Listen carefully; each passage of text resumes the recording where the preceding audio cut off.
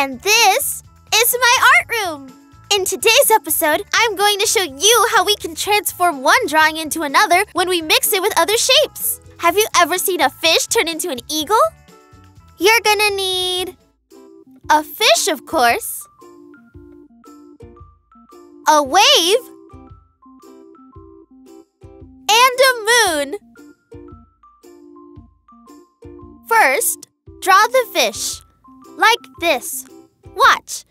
The pencil's going down, then up, and down again.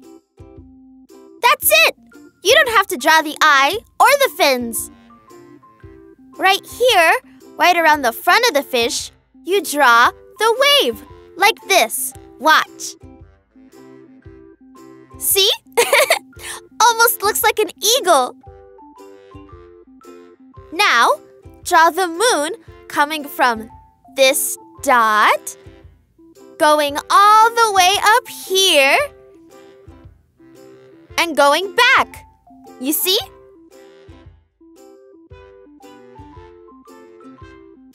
Draw a dot here, a line here for the beak, and two more down here.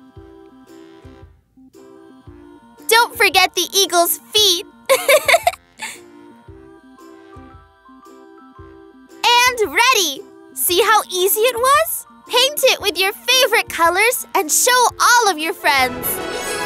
I hope you enjoyed it. Until next time, Marie signing off.